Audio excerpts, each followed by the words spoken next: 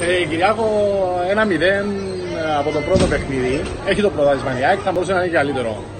Ε, το σκορ και το μεγαλύτερο το προβάδισμα. Εντάξει, είναι μια πραγματικότητα ότι έχουμε αποκτήσει ένα μικρό προβάδισμα από την νίκη μας με ένα 0 στο πρώτο παιχνίδι.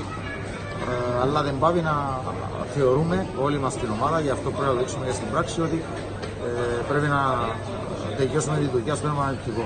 Ε, δεν, ε, δεν μας εγγυάται κανείς την παρουσία μας. Στο δεύτερο προκριματικό γύρο του Europa League θα πρέπει να κάνουμε εξίσου μεγάλη προσπάθεια, να καταβάλουμε εξίσου μεγάλη προσπάθεια. Επίσης, να εμφανιστούμε βελτιωμένοι σε κάποιους τομείς. Ε, δεν το έχουμε κρύψει από την πρώτη στιγμή. Είπαμε ότι περιμένουμε την ομάδα μας να εμφανίζεται βελτιωμένη, να κερδίζει, ε, να κερδίζει έδαφος παιχνίδι με παιχνίδι. Αυτό θέλουμε να δείξουμε και στη Μολδαβία. Να πάρουμε με το καλό την πρόκληση στο Κισινάου και να επικεντρωθούμε πλέον από την Παρασκευή το πρωί στον επόμενο αντιπάλο. Η ΑΕΚ στο παιχνίδι συμπληρώνει 50 παιχνίδια στην Ευρώπη, ένα νούμερο εντυπωσιακό. Αν σκεφτεί κανένας προπενταετία ότι δεν ήταν ούτε τα μισά.